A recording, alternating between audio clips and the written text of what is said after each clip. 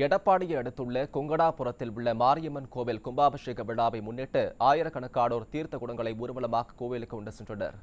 சேலம் மாவட்டம் எடப்பாடி அடுத்துள்ள கொங்கடாபுரத்தில் மாரியம்மன் கோவில் உள்ளது. இந்த கோவிலில் கும்பாபிஷேகம் வரும் திங்கட்கிழமை நடைபெறவுள்ளது. இந்த நிலையில் கும்பாபிஷேக விழாவை முன்னிட்டு விழா குழுவினர் தலைமையில் சரவங்க ஆற்றில் இருந்து நூற்றுக்கும் மேற்பட்ட ஜல்லிக்கட்டு காளைகள் குதிரை ஒட்டகம் யானைகள் ஆகியவைகள் மூலம் ஊர்வலமாக தீர்த்த குண்டங்களை கோவிலுக்கு எடுத்து வரும் நிகழ்ச்சி நடைபெற்றது. இதில் பொதுமக்கள் திரளாக கலந்து கொண்டனர்.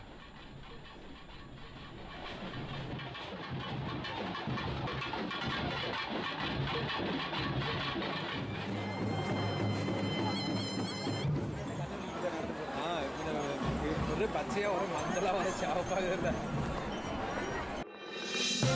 இது போன்ற முக்கிய வீடியோக்களை உடனுக்குடன் தெரிந்து கொள்ள நியூஸ் ஜே யூடியூப் சேனலை சப்ஸ்கிரைப் செய்யுங்கள்.